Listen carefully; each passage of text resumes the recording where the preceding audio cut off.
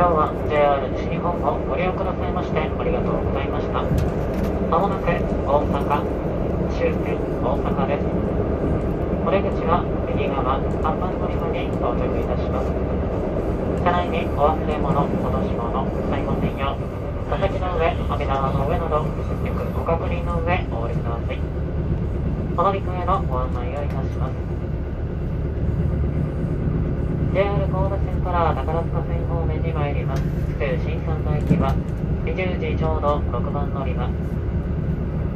新 JR 神戸線新快速姫路行きは20時ちょうど5番乗り場。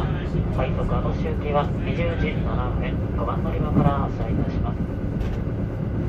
大阪環状線西九条天天町ユニバーサルシティ方面は1番乗り場。また、阪和線方面参ります。関空9時快速、関西空港岡山駅は20時10分。一番乗り場から発車いたします。京橋、鶴橋方面は一番乗り場からの発車です。阪急、阪神電車、地下鉄線はそれぞれ乗り換えです。